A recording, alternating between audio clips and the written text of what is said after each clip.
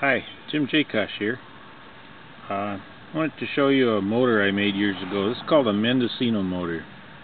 It's a motor with the armature levitated on magnets and the uh, motor runs by the sun on the solar cells in the middle. They spin around and they change polarity and there's a, a south pole magnet on the bottom and when the polarity changes uh, it moves it around from one side or one way to the other and then it keeps keeps the thing spinning.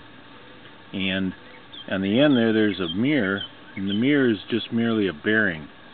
The way this is set up this is the armature right here and I didn't think it worked anymore because it fell down fell out of there a few times and that's why I put that loop on the back there so that it would hold it in. But it's out of balance right now and I thought it was broken because you can see it tore the heck out of a couple of those solar cells when it fell down a few times. Well, anyway, uh, this thing is made so it levitates. There's there's bearing there's magnets right here, and there's magnets in the back, and then these magnets that are on the armature are situated such that they push towards the mirror. So when you take this thing, I'll load this armature in there load that in there like that and you point that towards the mirror and you can see it falls down that way but if you put it in here it pushes it that way. And you put it in the sun and it might be out of it's it's a little bit out of balance right now but there she goes. And then as you turn this to get it more direct towards the sun it speeds up.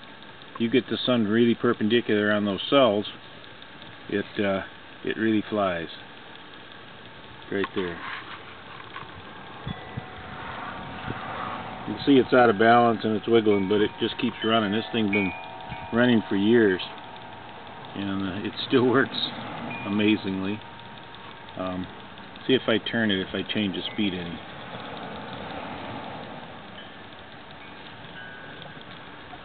Yeah, the sun's pretty bright. It's right overhead right now. It's about 1 o'clock. So, uh,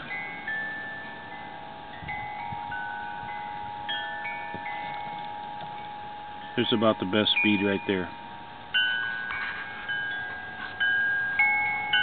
Anyway, there's a lot of skeptics that think these things don't work. This one worked super. Worked right out of the chute after I got her built. I thought I'd have to put new uh, solar cells on it, and I was planning on doing that this morning, and I brought it back out and tried it, and it still works, so I'm just going to leave it alone. Anyway, there you have it. It's called a Mendocino motor, solar powered.